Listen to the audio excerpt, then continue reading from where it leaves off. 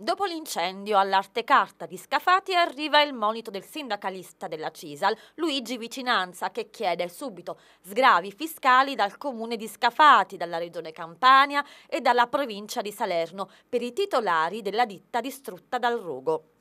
Vicinanza rivendica il massimo impegno dalle istituzioni per sbloccare subito gli ammortizzatori sociali per i 54 operai della fabbrica. Il silenzio di quasi tutti i sindacati sulla vicenda è davvero paradossale.